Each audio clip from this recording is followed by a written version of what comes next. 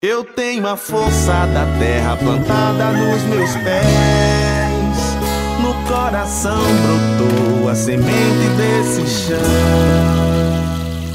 Então, gente, na roda de conversa de hoje, vamos falar sobre a importância da comunicação para a garantia da nossa cidadania. Já dizia o poeta Mário Quintana que não há nada que substitua a comunicação direta. As empresas de comunicações dizem que temos muitos donos, mas não há uma diversidade de assuntos nos canais. As concessões públicas são as autorizações do governo para a utilização dos canais de rádio e televisão, que pertencem à sociedade e devem ter participação social. É isso mesmo. As vozes das ruas sabem que a democratização precisa ser conquistada. A mídia está concentrada e isso tem que mudar. Vamos trazer essa discussão para nossas comunidades e conversar sobre isso. Porque os canais falam sobre os mesmos assuntos e os assuntos são sempre segurança pública, saúde e as fontes são são sempre oficiais. Cadê os assuntos de interesse público pautados pela sociedade e não pelo mercado? E as mídias que chegam a milhões de pessoas diariamente vão falar algo que agrida ou vá de encontro aos seus anunciantes? A população deve ter vez e voz, deve produzir informação. Mais de 80% das comunidades rurais não têm acesso à internet. Os cidadãos precisam reconhecer esse direito, exigir acesso e capacitação para a utilização desses meios. Para avançarmos, precisamos do acesso acesso da participação política para garantir a diversidade e a apropriação das tecnologias. Podemos criar um Conselho Municipal de Comunicação e Cidadania. A comunicação hoje é empresarial e corporativa de quem está no poder. As mulheres não se sentem reconhecidas nas TVs brasileiras,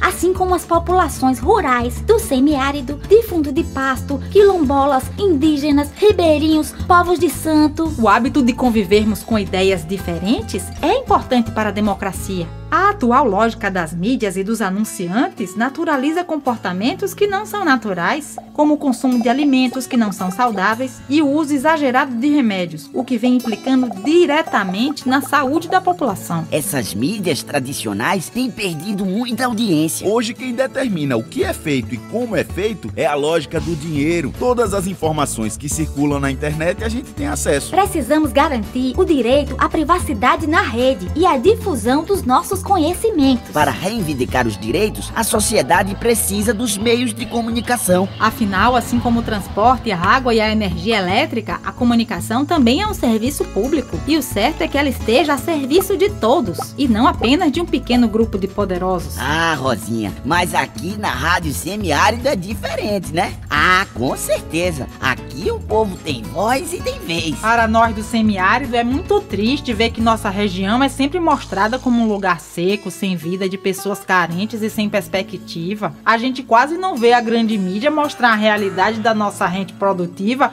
a força da agricultura familiar, da agroecologia, de toda a nossa rica cultura. A gente quer ver e ser visto. A gente quer mostrar que dá para ser feliz, amar, valorizar e viver dignamente aqui no nosso semiárido. Através das tecnologias de convivência com o semiárido, a gente leva uma vida mais digna criando os animais e produzindo alimentos adequados ao clima e à realidade da caatinga. Com certeza! E com a nossa força e a nossa união, vamos assumir de vez o protagonismo da nossa história. E o mundo inteiro vai saber que aqui no semiárido vive um povo feliz, talentoso e trabalhador. No semiárido, sou pró-semiárido.